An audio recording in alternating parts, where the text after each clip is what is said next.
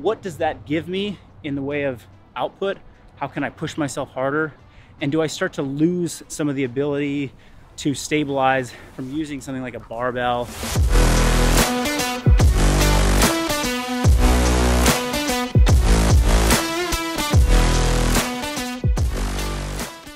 Today I did a persist pump workout and I've been doing that predominantly for about four days a week for the last, I would say two months. And what I'm doing is I'm investigating using the, the training format that I have been putting into our program, the subscription for the last, you know, two cycles. I've been using that and then in, and investigating movement pattern splits because there's a lot of supersets in there I've been investigating on the upper body days like today, biasing one day that's more push dominant and then a second day later in the week that's more pull dominant.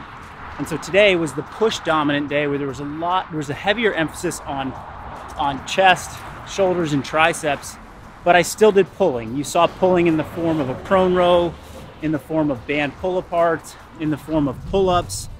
Um, so there was certainly uh, an element of pulling which I really like. I like upper body push pull days just because during those rest periods that you're taking from push exercises, doing like an opposing muscle group, um, you know, antagonist muscle group like the back, biceps, you can really sneak a lot more work into a training session without really jeopardizing the performance of the push. So that push pull or squat hinge or even like a squat and a pull, movements that are really antagonists. They don't fatigue one another. It's such a great way to train. And because we're fitting in a bit more work into a single session, you know, think about like you're increasing the density of your work. So an hour, you get more work done. There's an argument to be made for like improving work capacity, improving aerobic fitness, improving overall, you know, fitness, which I think is beneficial for people who are trying to look good, feel good, move well, stay in shape, and they don't have hours and hours and hours a day to train.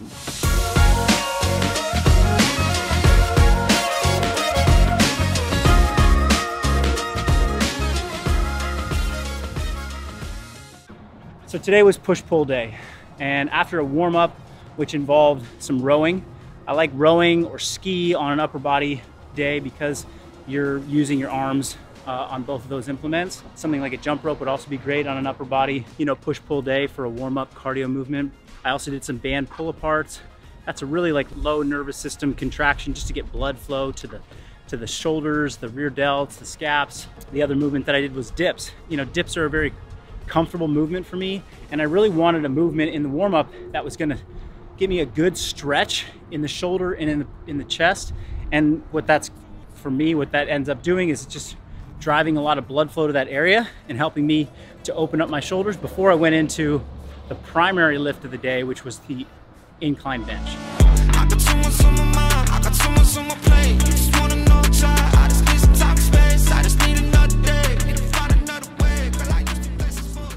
So then after the warm up was done, it was into the intensity superset. And the intensity superset was an EMOM, every minute on the minute, switching back and forth between a prone row and an incline bench. This is a low incline bench, and I find that low incline bench position to just feel really good on the shoulders, and I really get that extra stretch across the chest. Works really well for me. So I think, I think that's really also part of this investigation as I'm testing out future training cycles and movement patterns is, you know, just zeroing in on what movements really work best, not just for my body, but for, you know, our, our members. Um, now you saw me using some tools that I know not everyone has. Like I'm using a Smith machine and I was using that prone row bench that was really high, which I know not everyone has. You can set these things up, but they're kind of, you know, they're, they're a little bit cumbersome to try and set up in your gym. But what I'm looking at was like, okay, if I add more stability to this superset, meaning the Smith machine is more stable than a, just a regular barbell incline bench press, or a prone row as opposed to a bent over row. That's more stable. I was I'm trying to see over the course of several weeks like what does that give me in the way of output? How can I push myself harder?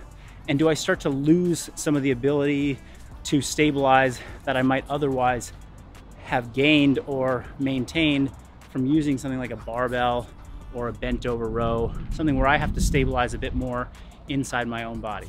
So it's just a curiosity that I have. You know, there's a lot of people that like to knock the idea of using machines or using lots of stability because they're like, hey, you should be able to do that yourself. And I agree, like, I'm not gonna stop doing bent over rows. I'm not gonna stop doing dumbbell bench pressing. I'm not gonna stop doing the things that require more stability from within me. But I just wanna see what's the what's the trade-off that we're making by going with something very stable like a Smith machine or a prone row versus some of the alternatives.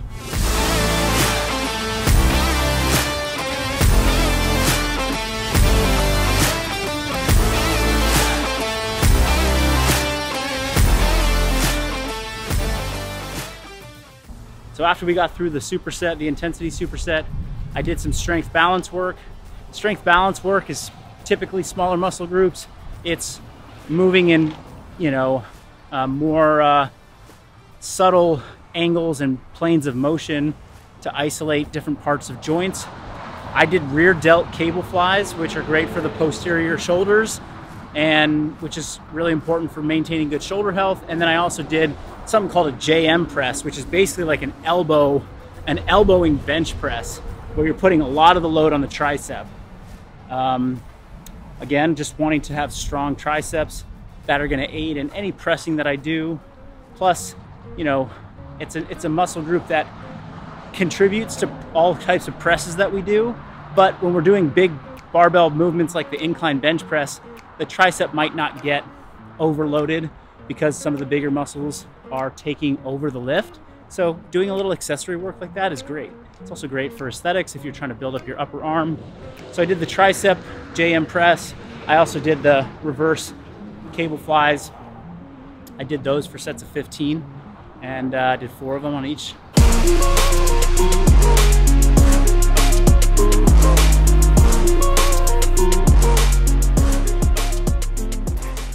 I was pretty cooked at that point, but I threw in some body weight conditioning, upper body body weight conditioning.